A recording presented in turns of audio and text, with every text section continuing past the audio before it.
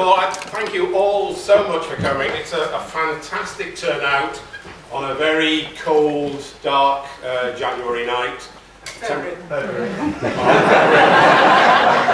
It's still, it's, it's cold and it's winter. So thanks for the book plug. It is available, price whatever it is out, out there. I only get 10%, so I'm not going to make a fortune out of it.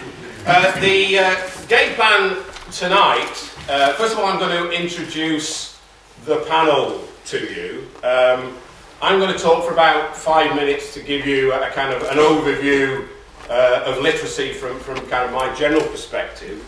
I'm then to ask each of the panel members to speak also for about, about five minutes, and I have a big trap door, uh, and if people go over, we'll, we'll sort of disappear them through that. Then I'm going to throw it open to questions, do a kind of a general, a general debate for a wee while, and we'll see how that goes. But I want to reserve the last half hour to actually do something. Okay, we, we're here, we're going to have a debate, we're going to have a discussion, we're going to talk about things. But I think it's important in this forum, important with this issue, that an audience like this, in a forum like this, that we actually go away with some kind of commitment. There's a range of people in this audience, all sorts of people um, from across uh, the spectrum of literacy, practitioners, writers.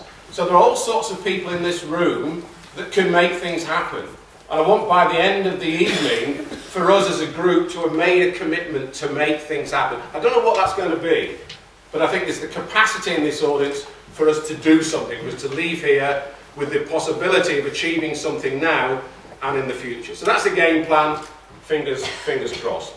Uh, the panel tonight, first of all, Mark Haddon. Uh, Mark's an author, he's a screenwriter, illustrator and a poet, uh, and best known for his award-winning novel, The Curious Incident of the Dog in the Night Time.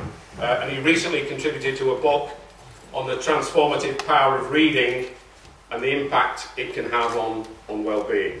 Uh, Mark's worked with offenders in prison, most recently for PEN, uh, with young men in a, secure unit, the Carford unit uh, at Hollesley Bay. Alex Wheatle is an award-winning novelist. He's written several novels and last year wrote and performed a one-man play. He served a term of imprisonment after the Brixton riots in the 1980s. Uh, and that changed his reading habits forever. He's a member of PEN as well and works for the prison programme and he recently took his words and his novel Brenton Brown into a long-term prison uh, in Kent. That's Swaleside, wasn't it? That's right. Which is one of my former uh, residencies. Uh, Nina, Nina Champion is Learning Matters Programme Manager at the Prisoners Education Trust. She started her career as a criminal defence solicitor before moving to the voluntary sector, working on a variety of trusts, managing rehabilitation and resettlement projects. And last by no means least, Lindsay Mackey. She's our chair, chair of English PEN's Readers and Writers Committee. She's passionate and promotes passionately all the work that we're doing, uh, and a part-time job is getting me uh, into trouble. okay, from my perspective, uh, yes, there is a literacy crisis in our prisons, but it's not a problem that magically arises when people are locked up. Although for some, incarceration brings help, I think, for the very first time. And of course, there are plenty of people who are illiterate, but who don't offend. But it's the prevalence of illiteracy alongside poor physical health, poor mental health, drugs, alcohol abuse and unemployment amongst getting on for nearly 90,000 people in prison at any one time that I think reflects a broader crisis affecting our communities, particularly those experiencing poverty uh, and deprivation. And researchers, and there may be some in the audience, have been on a long quest seeking that definitive link between such issues and crime. Does not being able to read and write increase your chances of turning to crime? Or does crime simply proliferate in the socio-economic groups where literacy is endemic? And if there is no link, then should we bother educating those in prison when resources could be spent in local schools and colleges? But in trying to address these questions, we can go round in circles as prison numbers go ever higher and we try and emulate the states and resources are cut back. But I think there are some fundamental issues in the debate that we are in danger of really losing sight of. Firstly, I firmly believe this, and it's in the book, which is out there, which you can buy. Prison problems are community problems. Might sound like a cliche, but it is something I do firmly believe in. Highly concentrated problems, but community problems nevertheless. But I think imprisonment provides an opportunity, a real opportunity, to tackle those problems in a very effective way. Most prisoners leave eventually. Currently, there's only about 40 in the system who is designated by the courts will never leave. So we can choose whether we take the path that means they leave better than when they came in or not. Second problem is one of, one of data, and I know Nina uh, wrestles with this one. We don't have comprehensive and regularly updated figures for the levels of literacy and numeracy. They're just not there. You often see figures quoted from the Social Exclusion Units report. That was in 2000. That was 11 years ago. There are occasional random studies and they focus on specific aspects like dyslexia. Needs analysis is not done on the regular basis that it should. And that's despite the fact that education contracts are re-tendered every three years and such information should surely inform those financial commitments. The education contracts are about to be awarded as we, as we speak. And I know Nina's going to talk about other aspects of the system that doesn't inform those contracts. There are individual assessments at local level, but they're done, but they're not aggregated nationally. Third question, and one I, I, would be remiss of me not to raise in an environment that we're in now in the free word sense. Do we consider literacy as a human right? UNESCO in 2003 launched the United Nations Literacy Decade, the UNLD. Its slogan was literacy is freedom and promoted literacy as being in the interest of us all. Perhaps it's the concept of giving prisoners freedom that has held back the cause of literacy in prison, even when it may be a cost to us all.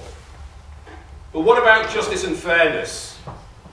I think we're just about hanging on to a justice system predicated on a fair trial.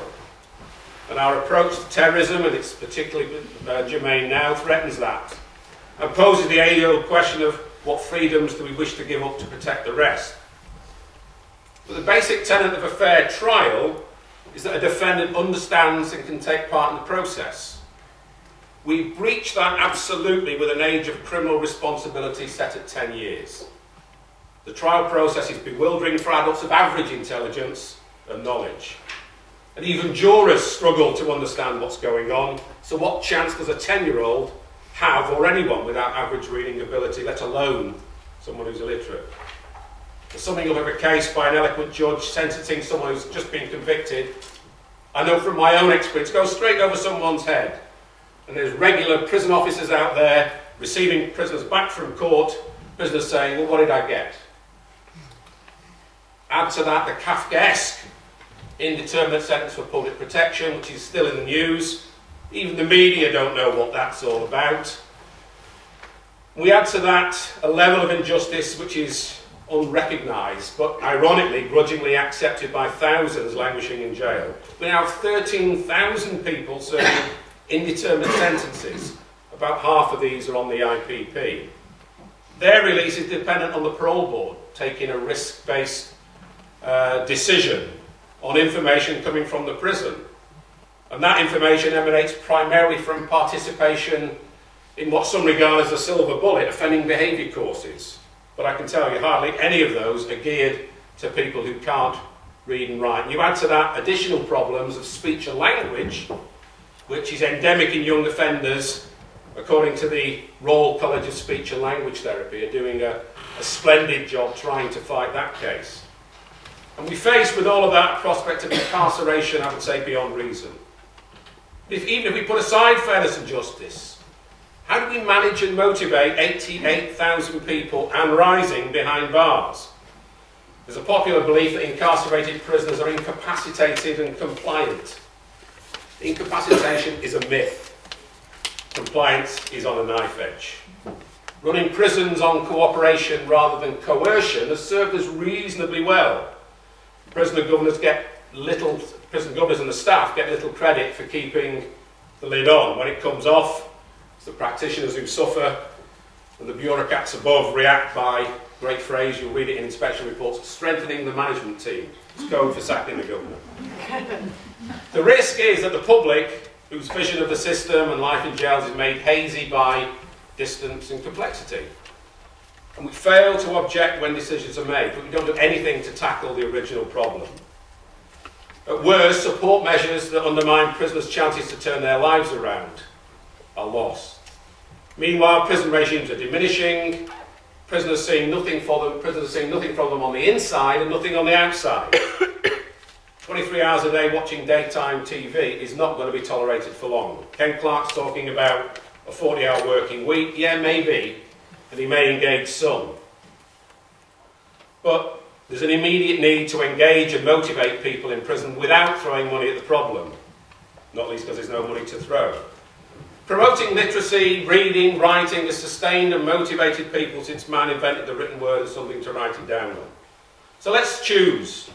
Are we so terrified that literacy and the work and the tools needed to increase prisoners' ability to read and write represents a freedom too far? Or do we want to accept that literacy is a human right and a prerequisite for changing lives for the better? Thank you.